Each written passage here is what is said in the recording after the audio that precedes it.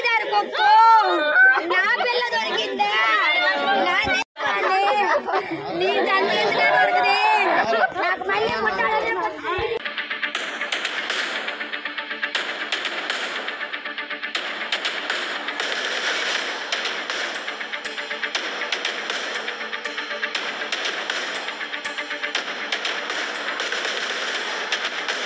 ఇది కుక్కల దాడిలో ఓ చిన్నారి మృతి చెందింది. శ్రీకాకుళం జిల్లా జి సిగడం మండలం మెట్టవలసలో దారుణం చోటు చేసుకుంది. వీధి కుక్కల దాడిలో సాత్విక అనే అమ్మాయి ప్రాణాలు కోల్పోయింది. ఇంటి ముందు ఆడుకుంటున్న చిన్నారిపై వీధి కుక్కలు దాడి చేశాయి. ఆమె తల మెడ ముఖంపై దారుణంగా కరిచాయి.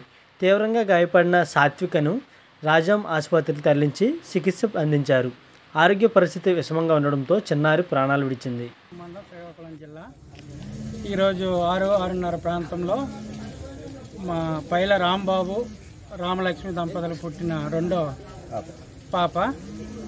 ఒక పద్దెనిమిది సంవత్సరంన్నర సుమారు సంవత్సరం అవుతుంది.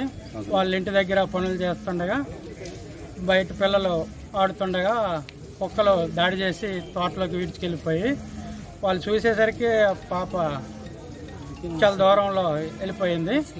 వెళ్ళిపోవడం వల్ల వీళ్ళు చూడడం కూడా వెతకడం కూడా పావు గంట అవుతుంది. ఈ లోపు తెలుసుకుని రాజాం ప్రభుత్వ ఆసుపత్రి తీసుకొచ్చేసి డాక్టర్లు ట్రీట్మెంట్ చేయగా చాలా విధాల ప్రయత్నం ఇది గతంలో కూడా చాలా పశువులకు కానీ మనుషుల మీద దాడులు కానీ చాలా విధాలు జరిగాయి. కానీ ఈరోజు ఈ పాపను ఎత్తుకెళ్ళిపోయి చంపడం జరిగిందండి. చాలా విసారకరం దారుణంగానే. వీటిపై ప్రభుత్వం చర్యలు తీసుకొని తగు చర్యలు తీసుకొని ఇది మా గ్రామాలని కాపాడవలసిందిగా కోరుతున్నాం. చిన్నపిల్లల దాడి నుంచి కుక్కల దాడి నుంచి గ్రామ కాపాడ గ్రామ ప్రజలను కాపాడవలసిందిగా కోరుతున్నాం. ఐదారు నా పిల్ల దొరికిందే.